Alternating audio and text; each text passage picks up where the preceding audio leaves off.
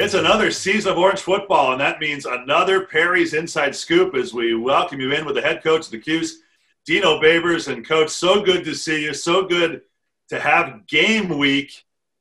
I can't believe we're here, first of all, and I hope with all that's going on in the, uh, the light of Perry's that you had some sort of fun over the summer. You know, I'm, I'm excited about game week as well. I'm, crossing my fingers. I'm so excited. I just want to make sure it happens. It's like the day before Christmas. I want to make sure that the next day is Christmas so we can open the presents because that would be outstanding. But the, the summer was very unique. Obviously, there was a lot of things. But uh, one of the things that I really got out of it was I started taking these, uh, I thought they were nature walks with my uh, oldest daughter that just graduated with her, her, her graduate degree from Syracuse. But they turned into competitions about how much she could make daddy sweat and make his feet hurt uh, by before she got home. So I think it started off with two mile walks, and before it was all said and done, there was a couple of eight mile uh, excursions in there with some slow jogs, normally downhill and not up.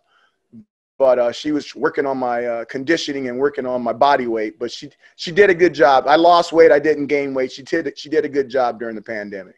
Well, that's awesome because I know that had to be a challenge really for everybody in general, but let alone the uh, finely tuned athletes that you're working with, really to stay disciplined, right? And to stay on task physically, uh, getting ready for this year through unprecedented circumstances. It really was. And it's probably, you know, growing up in our, our era, which is a long, long time ago in a galaxy far, far away, you know, we didn't have trainers and pe- other people who trained us. You, you got together as with your buddies and you worked out in the parks or you jogged around the neighborhood.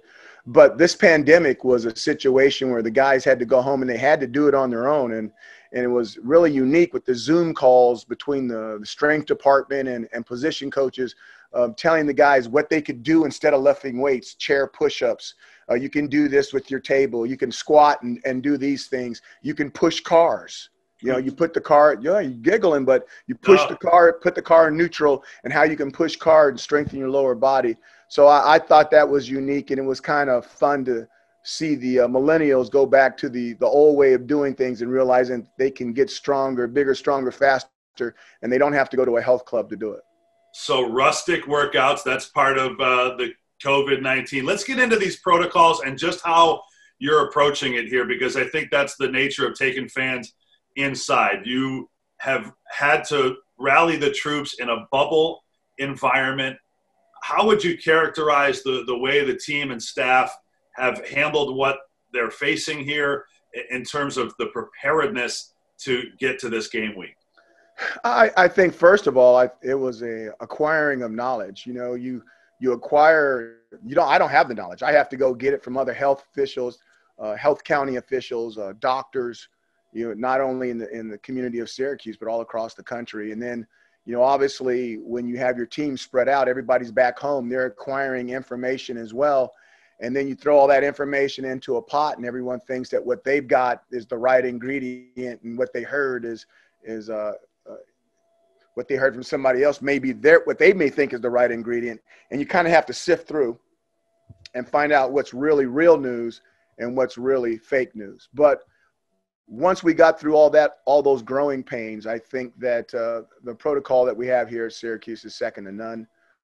Uh, you would say, well, of course he's going to say that, but I'll put the numbers to it, and uh, let's put a light, let's put a light on it and go all the way across the country. And if we're not in the top, the top four, top five teams in the country, then I'd like to see those numbers because I'm really proud of what the team has accomplished with the medical professionals, with the trainers, with everybody in the community and I don't think we need to take a backseat to anyone when it comes to it. No, it looks like the testing has backed that up. I know the testing is ramping up this week. You do have a couple players uh, apparently opting out, and we'll uh, get into the football talk at a later time. How does this work, Coach?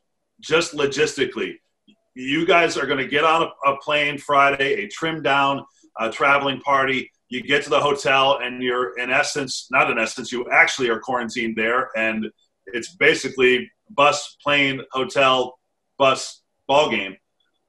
How do you see that uh, that working, and, and why is it necessary? Well, we're a traveling bubble. You know, if we're if we're completely pure before we take off, we want to be completely pure when we return. And uh, one of the safest states to be in in the United States right now is the state of New York. Our numbers are unbelievable. We're, I don't know, two weeks under 1% or something like that. So we are, the numbers are through the roof, and the, the Syracuse numbers are better than that. And then the university and the athletes' numbers are better than those numbers. So they're, they're really incredible. And we just don't want to throw everything. We've been working on this since June 8th when we started and we brought everybody back. And we just don't want to throw the throw all that stuff underneath the table. So it's important that we keep our traveling pod pure. And if and if everybody has that attitude, then not then we shouldn't just be excited about kicking off for the first game. We may be excited about shaking hands after the last one, knowing that we completed this season. That would be amazing. We haven't had a handshake in, in six months. Uh, the idea that what an accomplishment uh, that would feel like. Okay, and last thing, Coach, because I think that it's interesting for the fans to hear the level of thought and planning that has to go into this. Football coaches are known for their uh, orientation to detail uh, in the best of times, but certainly now you've got to have a plan and, and an act together and a, and a backup for every idea and every position this week, obviously, uh, testing ramps up. To what extent are you prepared that virtually anybody on your traveling party, whether that's a, a running back, a linebacker, an assistant coach, or a trainer, that person could, on very short notice, be ruled unavailable? How do you operate from there? flexibility it's the key to success i mean and throw in there the head football coach i mean what happens if i i can't something happens to me and I can't go out there. You you have to have a, a VP, so to speak, a vice president in every situation, and uh, some may not be as strong as others, but uh, a vice president, none the same, is going to become president, is going to be making the calls. And of course, they'll have a, there'll be leadership across the board. They'll be able to help them if those situations occur. But uh, you're going on faith, belief without evidence that you're putting a, a good person in a good situation and uh, even though they've never been in that situation before, they're going to make and handle the situation and, and handle it in the best of their ability with other people giving them uh, encouragement and support.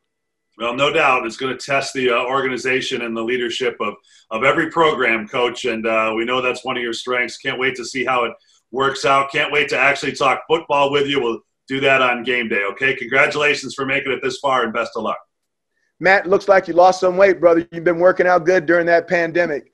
I went the other way, baby. I love my Perry's, and this has been week one of the Perry's Inside Scoop.